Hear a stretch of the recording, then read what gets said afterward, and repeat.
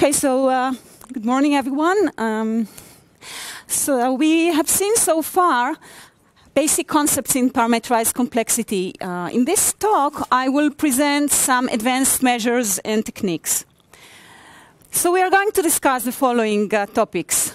The first topic is above guarantee parameterization, uh, which is uh, a refinement of the standard parametrization, as uh, mentioned yesterday briefly in uh, Daniel's introductory talk. The next topic is greedy localization, which enhances algorithms that are based on branching.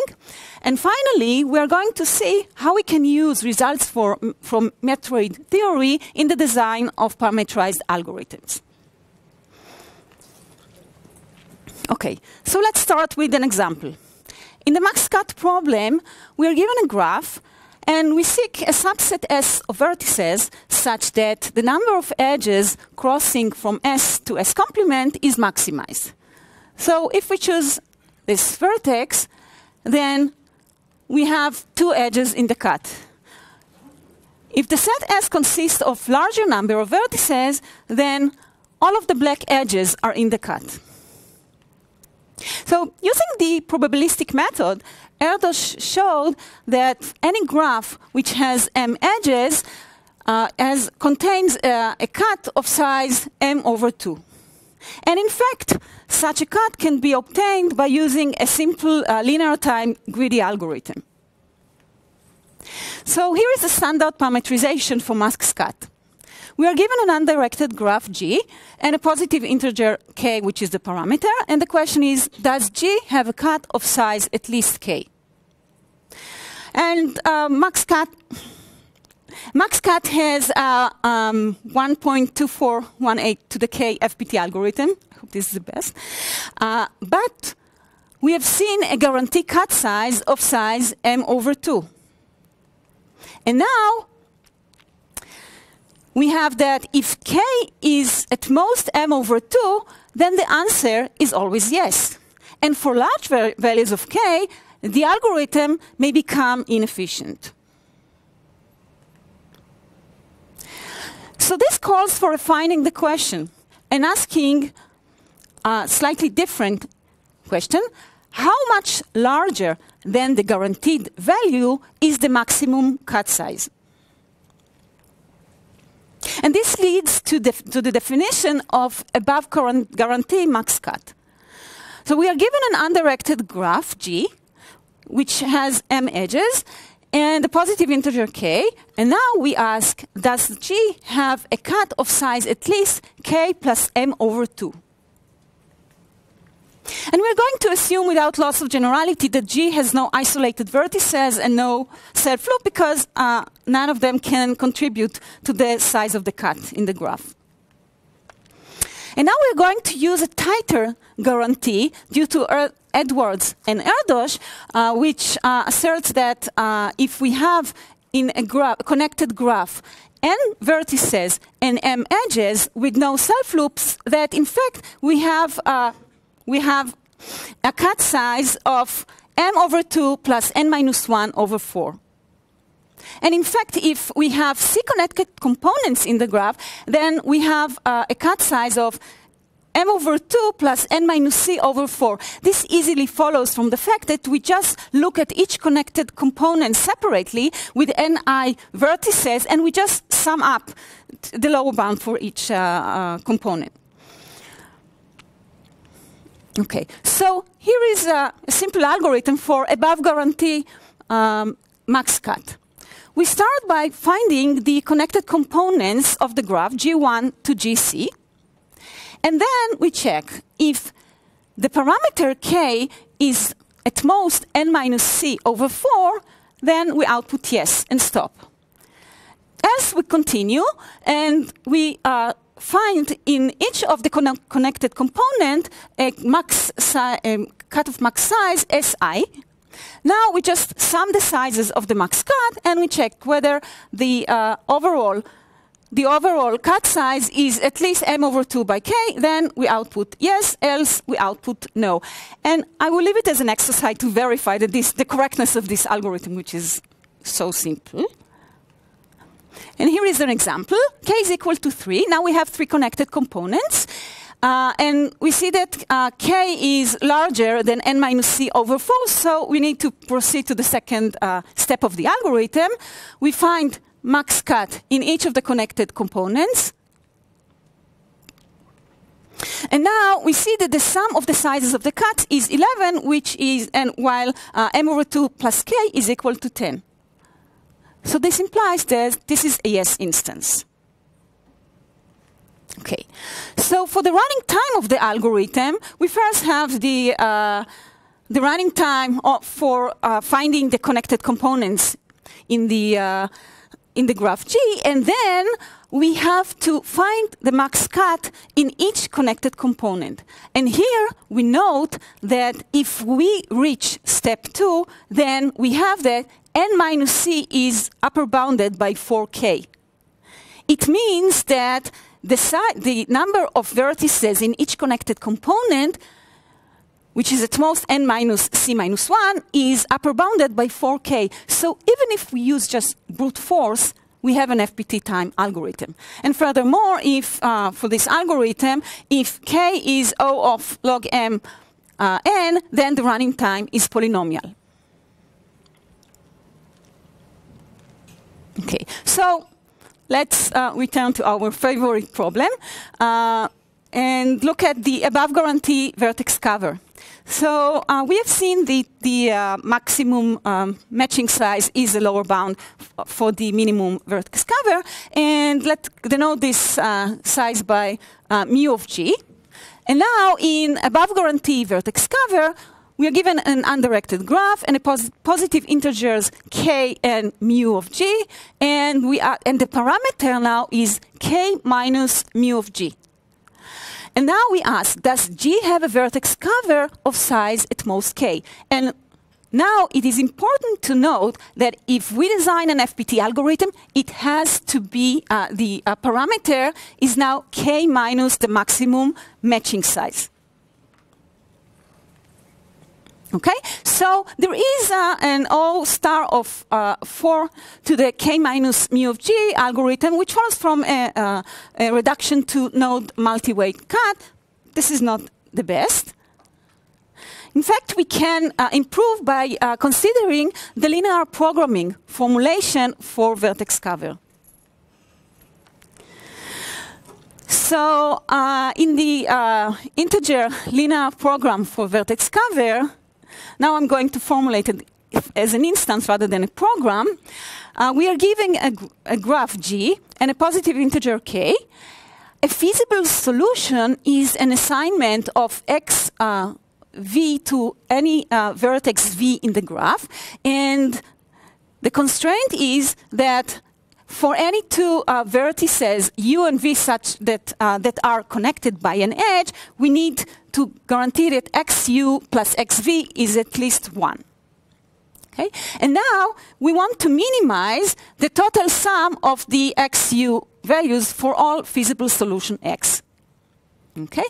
In the linear programming relaxation, rather than taking, uh, taking uh, uh, x uh, of v to be in 0, 0 or 1, we just uh, allow x of v to be any uh, positive value.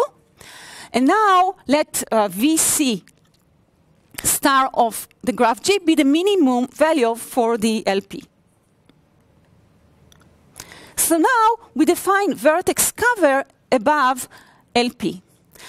The instance is now the graph G with positive integer k and the optimal solution for the linear programming formulation for vertex cover. The parameter is k minus this value, and now we ask whether G has a vertex cover of size at most k. Again, we require that the uh, running time of the algorithm depends on this value rather than just k. Okay, so vertex cover above LP can be solved in this time. And this is a paper. Saket, you know how to say the name? Your paper. Uh, Swamy uh, Al, uh, Saket is one of the authors. Um, and, and one important thing to note is that by weak duality of linear programs, we have that the optimum solution for the LP is lower bounded by the maximum matching size. And therefore, K minus the, the optimum uh, linear program value is upper bounded by K minus the maximum uh, matching size. And now this implies that any algorithm for vertex cover above LP is also an algorithm for above guarantee vertex cover. Okay. So, uh, above guarantee vertex cover uh, has been the center of many developments in parameterized algorithms. And the reason is that uh, faster algorithms for this problem yield uh, faster algorithms for a host of other problems. Uh, we are not going to go over all of them, but uh, we are going to focus on one problem just to show how it relates to above guarantee vertex cover, the odd cycle transversal. So um, in this problem, we are giving an undirected graph, a positive integer k, and the question is, does G have an odd cycle transversal of size at most k? In other words, we, we want to omit at most k vertices from the graph such that the remaining graph is bipartite. Okay. So now we are going to show that uh, odd transversal can be uh, odd cycle transversal can be solved in time O star of 4 to the k. We've, been, we've seen earlier this uh, running time for above guarantee vertex cover. As we said, not the best, but good for this example. Okay, so now, uh, we are going to, uh, given the input graph G, we are going to construct a graph G tilde. So, first we take two copies of G, G1 and G2, consisting of the same sets of vertices and edges. We just call the vertices in G1 and the edges V1 and E1, and the uh, vertices and edges in G2 to be V2 and E2. And and the vertices in G tilde is, uh, are um, V1 union V2. The edges of, e, of G tilde uh, are the set of edges of, of G, uh, G1 and G2, and we add to that an edge between the two copies of each vertex. Okay, so each vertex U has a copy U1 in G1, a copy UT, U2 in G2, we just connect them by an edge. Okay, so now we have uh, a perfect matching in G tilde, which has a size n, and is the uh, number of uh, vertices in the original graph. Okay, so uh, this implies, of course, that the maximum matching uh, size in uh, G tilde is equal to n. Now we are going to use the following lemma without proof due to lack of time.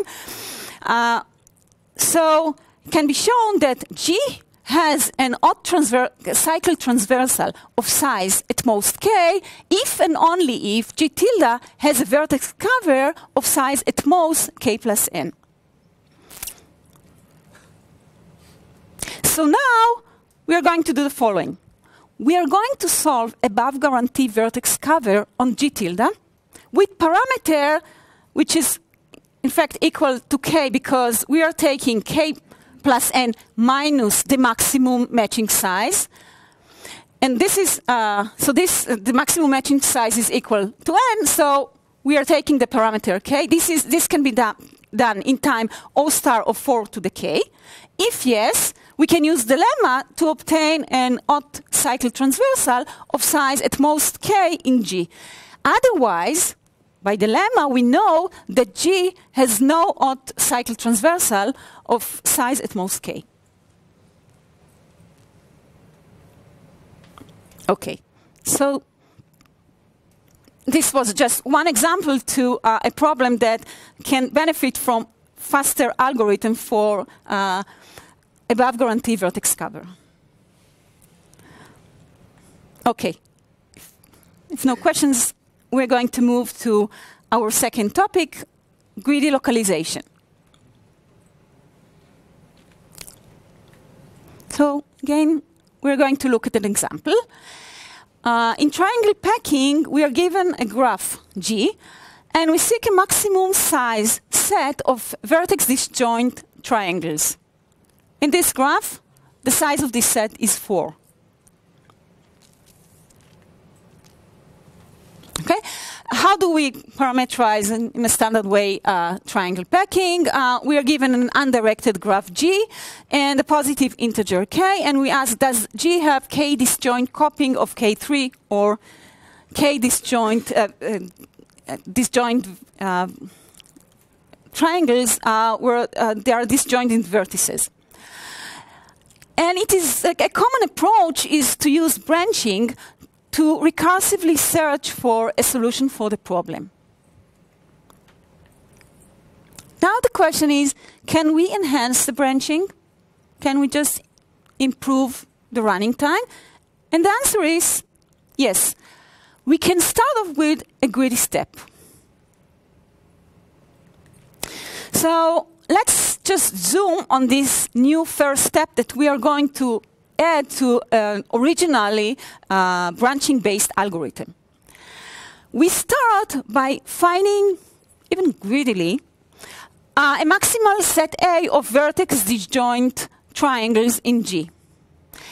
And the main observation is that if there exists a solution to the problem, call it SOL, uh, which contains at least k disjoint triangles, then any triangle in this solution has to intersect some triangle in A. Otherwise, A is not maximal. So now we just need to guess the intersection of A with this solution, assuming it exists. Okay, so here is now the algorithm. So step one, as we said, Find a maximal uh, set A of vertex disjoint triangles in the graph. If A has at least k triangles, we are done. This is what we are looking for. Okay? Else, we are going to look at the subgraph that is induced by the triangles in A. And now we, uh, we look at the uh, number of vertices in this subgraph. If the number of vertices is smaller than k, there, there is no way that we can complete any uh, the the vertices in this graph or any selection of vertices in this uh, induced uh, subgraph to k disjoint triangles in a solution. So obviously we can output the answer no. Right? Okay.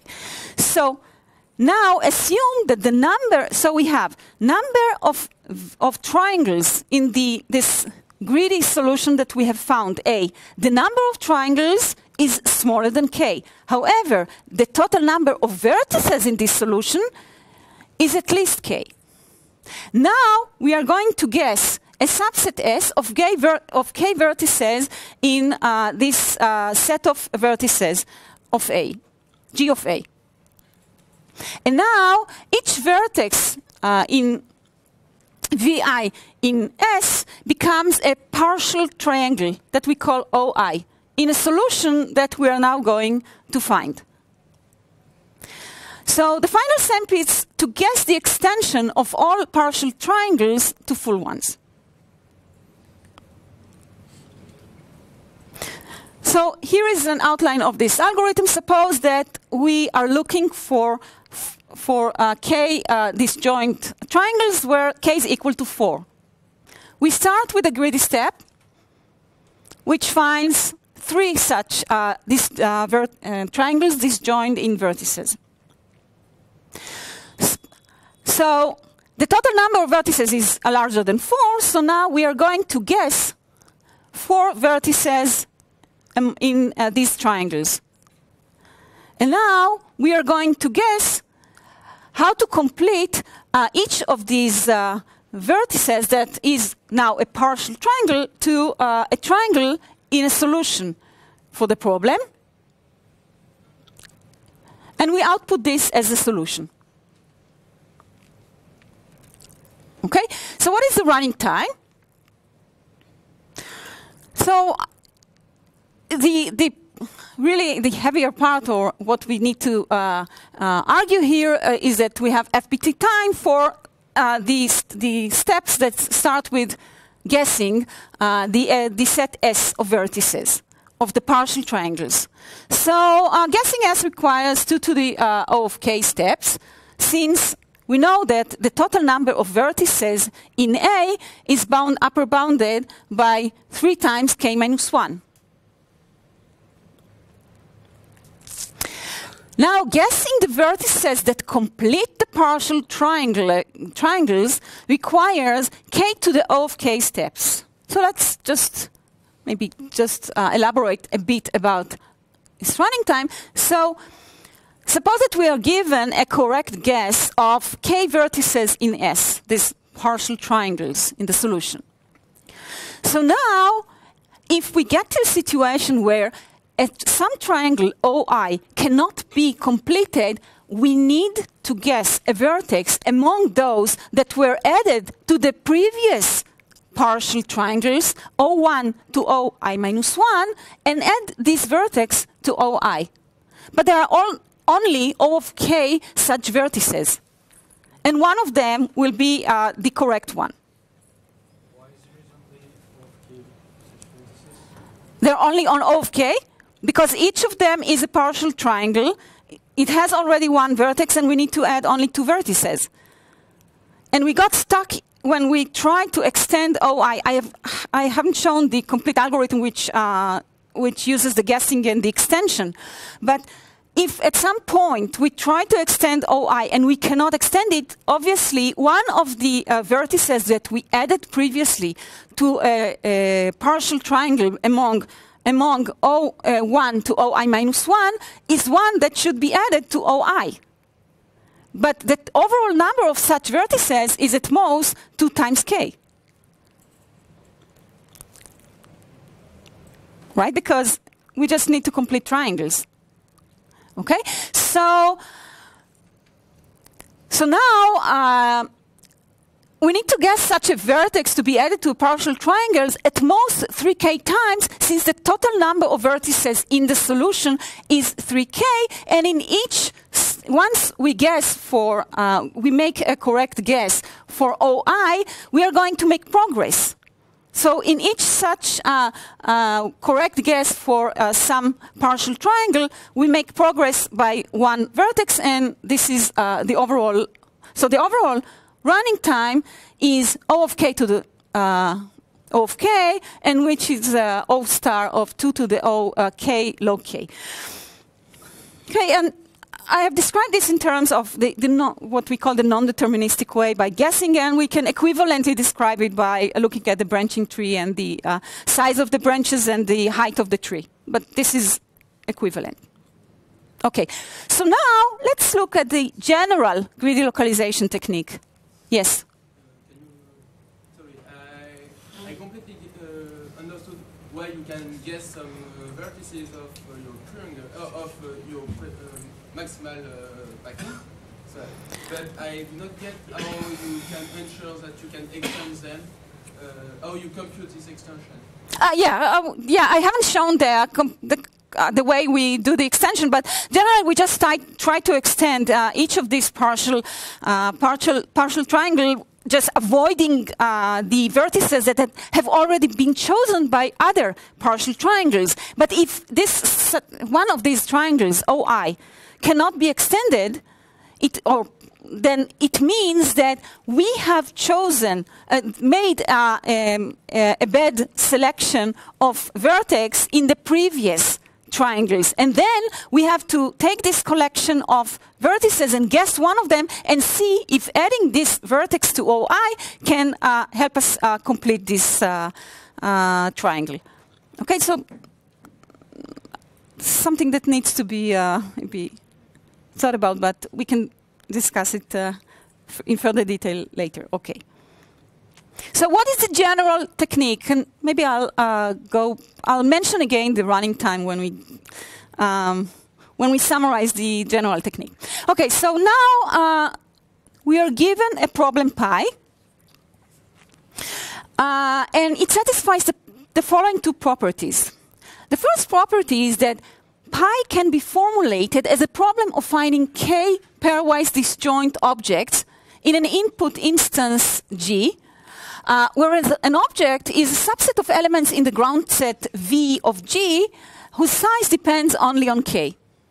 The second property is that for any uh, subset R, subsets R, uh, in X in V, we can decide in FPT time if there exists a subset S in V minus X such that R union with S is an object. Let me just rephrase it. So now we would like uh, S to be an extension of a partial object R to a full object R union with S, avoiding the subset of uh, elements X.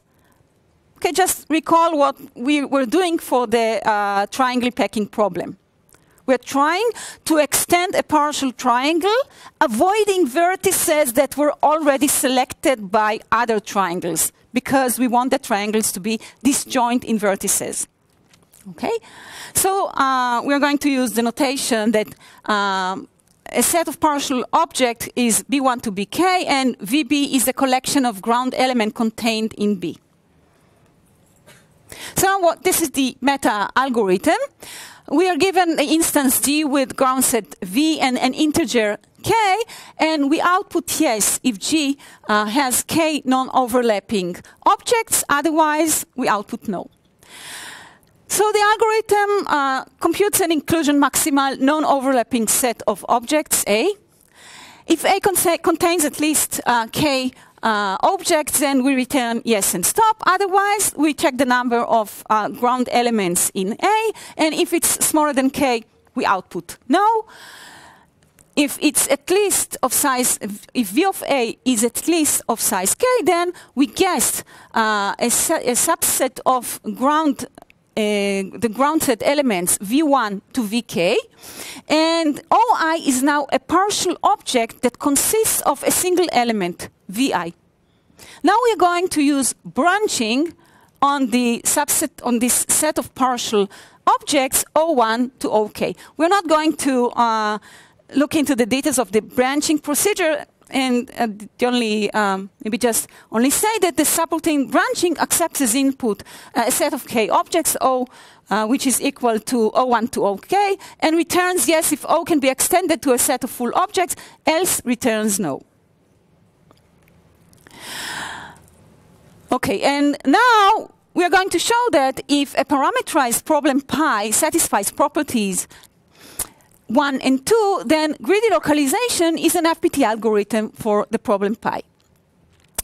So for correctness, the key observation that we have stated earlier for the uh, triangle packing problem is that if there exists a solution for pi, sol, that has at least k uh, objects, then any objects in this sol i in this solution intersects some object aj in A. And this is due to the maximality of A.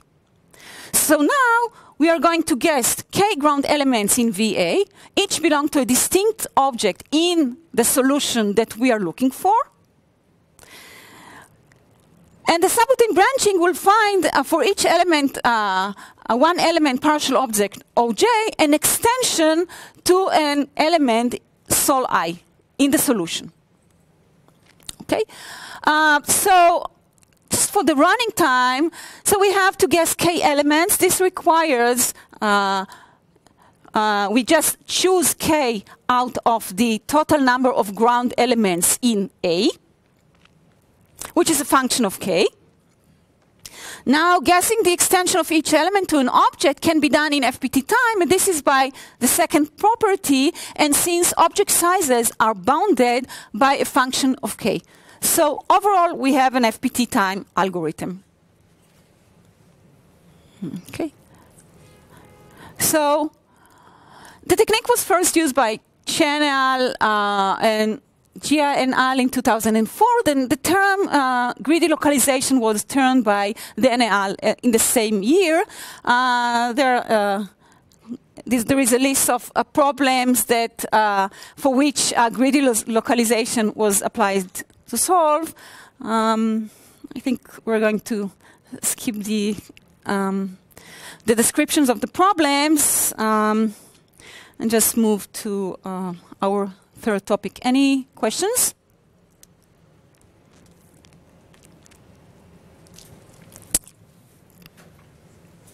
Okay. So, Matroid theory unifies and generalizes some common phenomena in um, in um, Matroids and um, in, graph algorithms and and uh, linear algebra.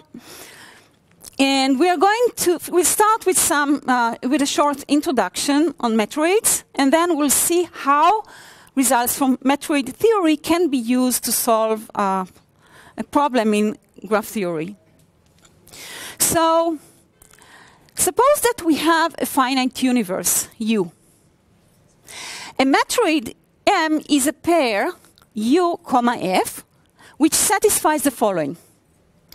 F is a collection of subsets of U, and we call these subsets independent sets.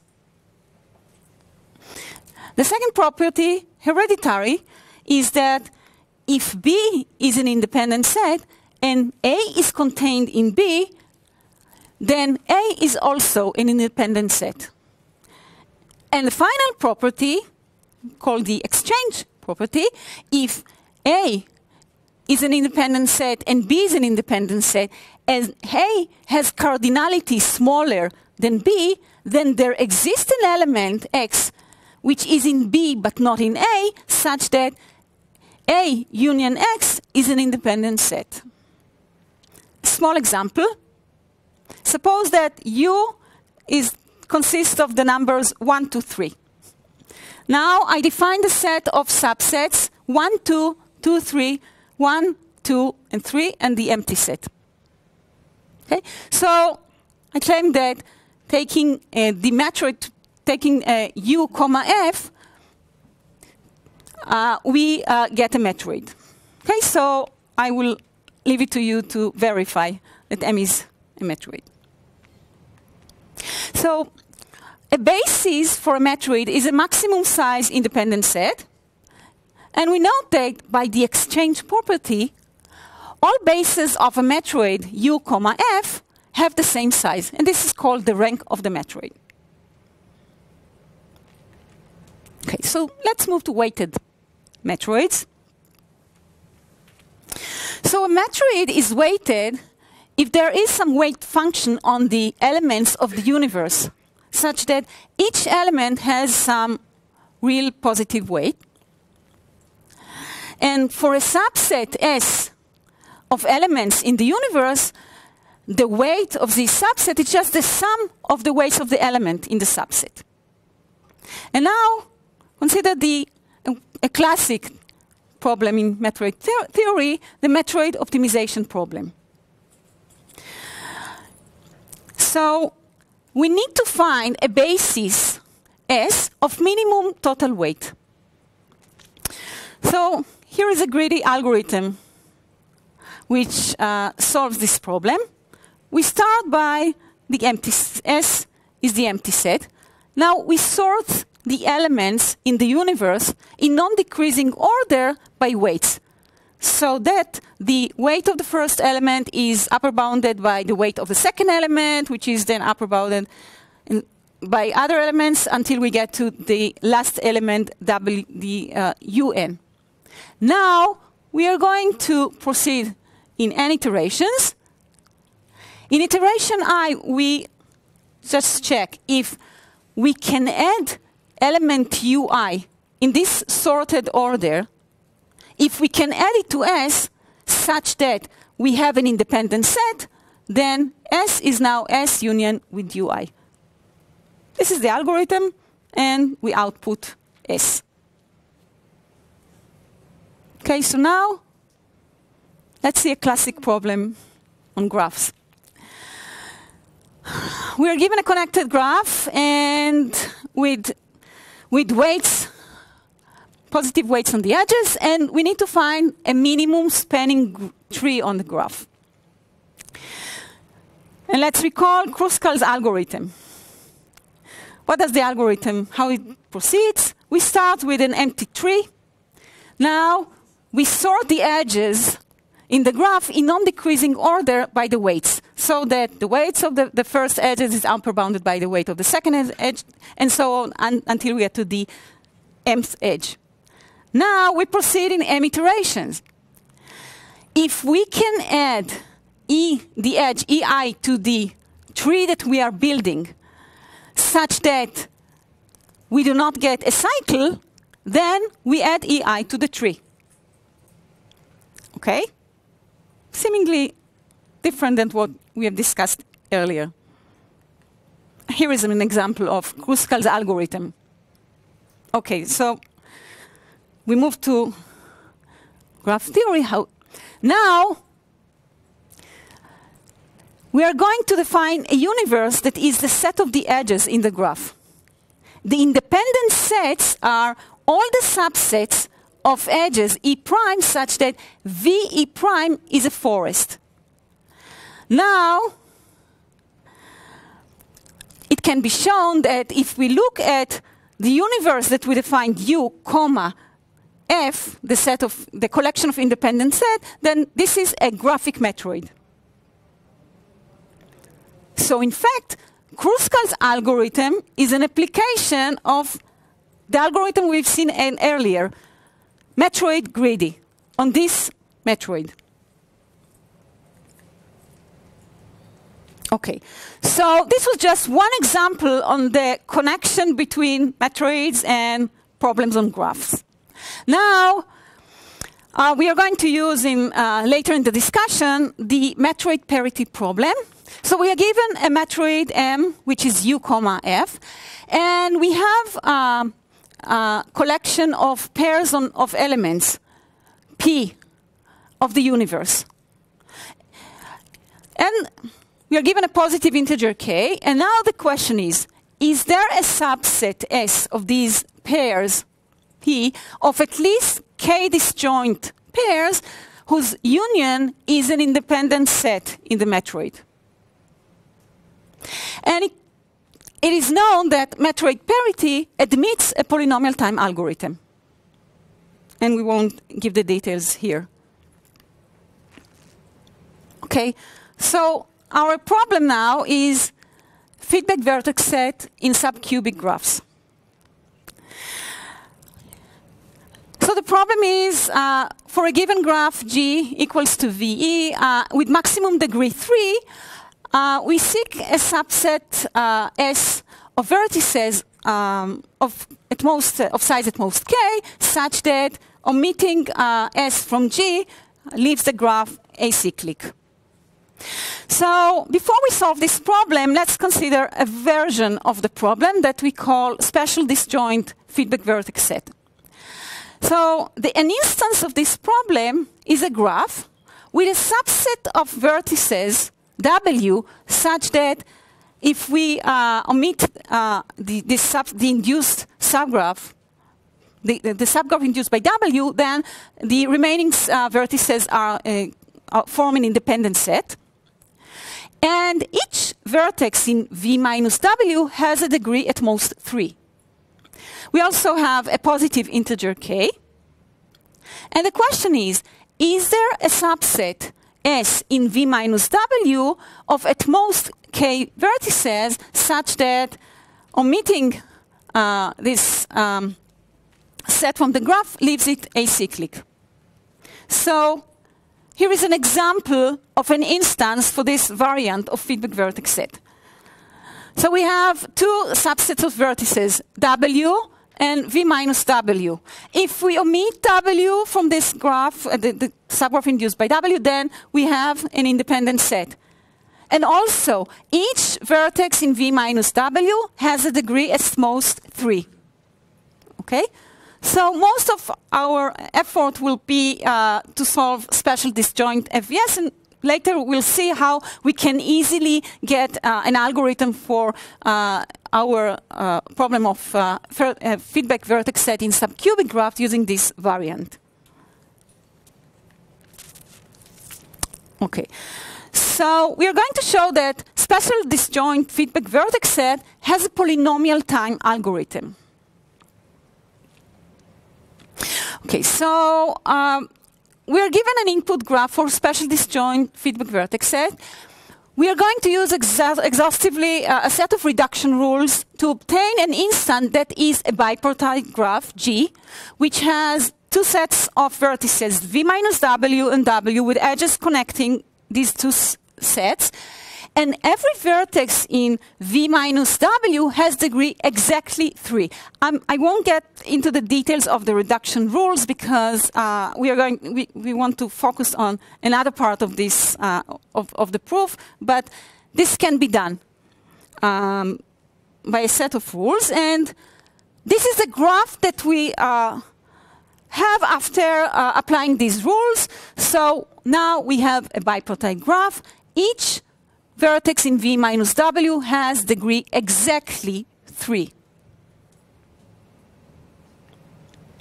Now, we are going to use a reduction to matroid parity. So I'm going to look at the set of vertices W, and I'm going to define a clique H uh, over this vertex set. Yes. But on your previous slide, the example you had wasn't solvable with your definition. Yeah, because you have the cycle on the right Oh, this, uh, there is, but you are only allowed to choose the subset S out of uh, V minus W. So you're not allowed to cut on the right side, so you cannot uh, cut the cycle on the right. Yeah, this is better. yeah, okay, so we need to fix the example. I agree, I agree, okay. Good point. so, okay, so now we have this bipartite graph. We are going to define a reduction to matroid, to matroid parity in order to solve the special disjoint feed- feedback vertex set. Have we already defined metric problem? Yes. Yes. Okay. Um, okay. I will define it in a, in a moment when I uh, I'll just define the instance of matroid parity, and this will remind us all uh, the definition of the problem. Okay. So now we look at the set of vertices W, and we are going to define a clique over this set of vertices, and we are going to define a graphic matroid over this uh, subgraph H. And I'm just going to remind what is a graphic matroid. We are going, uh, the uh, universe is the set of the edges in this clique H, and the set of the collection of, of independent sets is the, all, the, all the subset E prime of the edges in the clique such that the subgraph induced by W and E prime is acyclic. Okay. Now we are going to define a metro E a parity instance. So we uh, define uh, uh, it will be a multi-set uh, of uh, pairs of uh, edges in the clique H that we define, and this contains a pair of edges in, in the following. And the reduction will be done in the following way. We look at a vertex U that belongs to V minus W. And we, we know that each vertex in V minus W has exactly three neighbors now. Okay? Suppose the neighbors are, are X, Y, and Z. So now we add the pair X, Y, Y, Z to the collection of pairs P. Remember that in matroid parity, we have collection of pairs of elements of a universe. That is the, the, the ground set for the matroid. Okay? So now for each vertex in V minus W, uh, having these neighbors, we add a pair to P. Now suppose that V, the number of uh, vertices in, the, in our graph is equal to n, and C is the parameter for the special disjoint feedback vertex set input, and we set our parameter for matroid parity instance to be K minus uh, W minus T. Now, we are going to recall the definition of uh, matroid parity. Okay, to show the validity of this reduction, we want to show that G has a feedback vertex set S in V minus W of size at most T if and only if there is a subset Z of these pairs that we defined, uh, which uh, has size at least K, such that the union of these pairs is independent in our matroid, MH. Okay, so now we are going to focus on showing that this reduction is valid and it, is, it suffices to solve the matroid parity problem in order to get uh, a solution for the um, for the uh, vertex uh, feedback vertex set. Okay. So in order to uh, show the validity of this reduction, uh, we are going to define a bijection between subsets of V minus W and subsets of P, the pairs of edges uh, in, this, in the clique.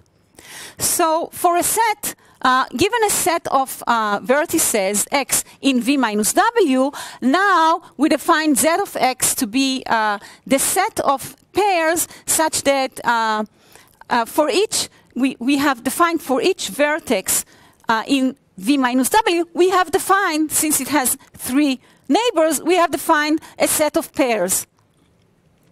Or, or sorry, a pair uh, of elements. Okay? So now we just look for a subset X of V minus W, the collection of pairs that we defined for the vertices in X. Okay? So now the claim is that given such a subset X of V minus W, the graph induced by, G, by W union with X is acyclic if and only if the uh, set of pairs corresponding to X in, uh, is independent in the matroid and the pairs in ZX are disjoint. Okay, so now we're going to prove the claim only partially, but just to get the flavor of how we show such a statement. So let's start with the first direction. Uh, we are going to show that if uh, x uh, is acyclic, then this uh, this uh, is a statement is satisfied. So now assume, by way of contradiction, that that uh, there are two pairs in Zx that contain the same edge. So meaning that this condition is not satisfied. We want to show that there is a cycle here. Okay? So if Zx contains the same edge yz, it means that there are two vertices in W, y and z, which are the neighbors of two different vertices in our uh, set X. Okay, so just look at this. Suppose we call these two vertices U and V. U has the neighbors y and z, and v has the neighbors y and z. So now we got a cycle in the graph induced by uh, w union x. If we look at the, the cycle u, y, v, z. Okay? So this is uh, the first part.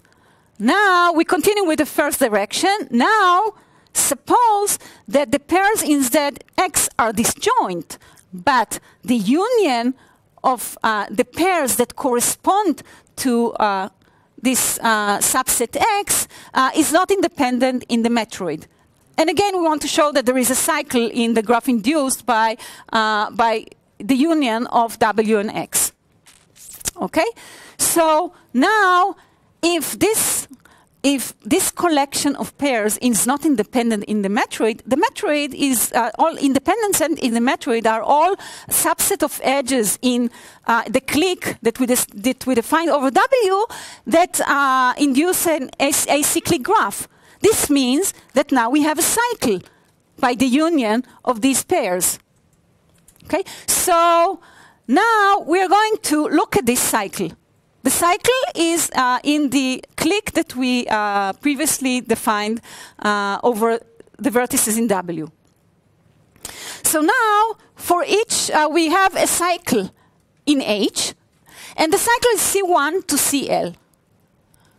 And now, for each i between 0 and L, let ui be the vertex in X such that the pair corresponding to ui contains the edge ci, ci plus 1. And, and we know that the pairs in Zx are disjoint, so ui is, is uniquely defined. Okay, and it is adjacent to both ci and ci plus 1 because recall that the pair ci ci plus 1 corresponds to the neighbors of, the, of uh, a vertex. So now the vertex, U, the vertex UL is adjacent to CL and C1. Okay. So now we need to note that the vertices U1 to UL are not necessarily distinct. So there may be some vertices that a vertex that repeats, or, but what is important to note is that they cannot be all equal because C is a simple cycle on at least three edges, but any UI corresponds to two edges because it has only three neighbors. Okay? And therefore, there exists some i such that ui is different than ui plus 1. Okay. A picture. So now, suppose that we look at a cycle uh, of size 6. We have, okay, so this is uh, where we defined uh, the clique H over the uh, vertices in W. This is now a subset of vertices in V minus W. Okay? So the, the dashed ed uh, edges are now the cycle that we have in H. Okay? So now, suppose that i is equal to 3. We said that i is equal to 3 and ui is different than ui plus 1. Okay? So now look at u3 and u4. So there is a simple there is a simple path from u4 to u3 because u3 has the neighbors c3 and c4 and u4 has the neighbors c4 and c5. This is how we define them. Okay, so now there is a simple path between. Uh, this is the first simple path between them. However, there is another simple path that is disjoint for this path between U4 and U3, and this is the green path. Okay, so we have two uh, vertex disjoint paths between V between U4 and U3, and this implies that now we have a cycle in the graph induced by the union of X and W. Okay, so uh, for the second direction, we are not going to repeat it. I hope some there is we, we did we did uh, get some of the flavor of how we show this such a, uh, a reduction uh, from uh, the, a matroid problem to uh, a graph problem. Just uh, to mention that if in the other direction, suppose that the graph induced by W union with X contains a cycle,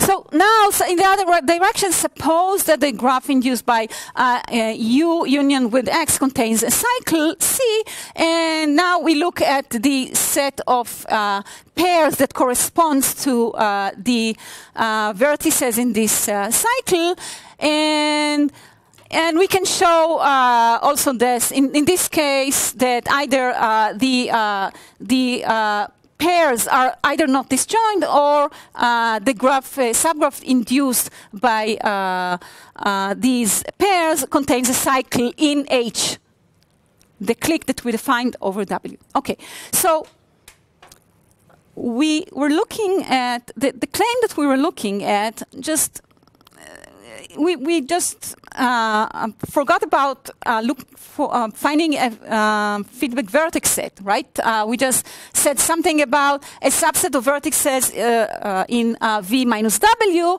and we had a claim about cycles, cycle in the graph induced by this subset, and, and about the matroid in that we defined over W.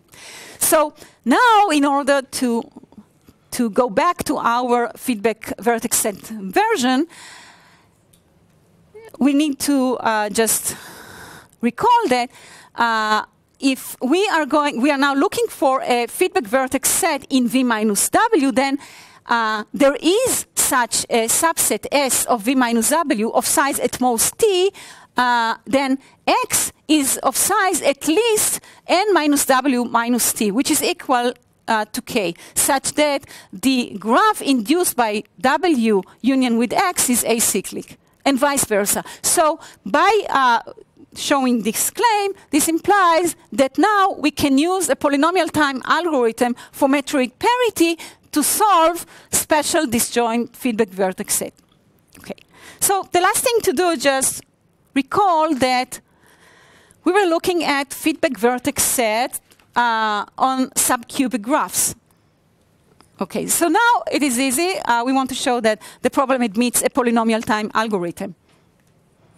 So we are given an instance of the problem, and what we do is simple transform the uh, instance into a graph G prime such that in the middle of each edge we add a vertex of um, degree 2. Okay, so now we're going to call the set of uh, these blue, navy blue edge uh, vertices, we are going to call it W. So now it is easy to verify that a subset S in V of G is feedback vertex set of G if and only if S is a feedback vertex set in G prime. Okay? Now we can run the polynomial time algorithm on special disjoint feedback vertex set on where the instance is G prime with the set special set of vertices W. Okay, so um, uh, here is uh, here's some uh, examples of some problems uh, for which uh, uh, matroids were used so far to obtain FPT algorithms, and there are many more. They're not on this on this slide. Any questions? Okay, thank you.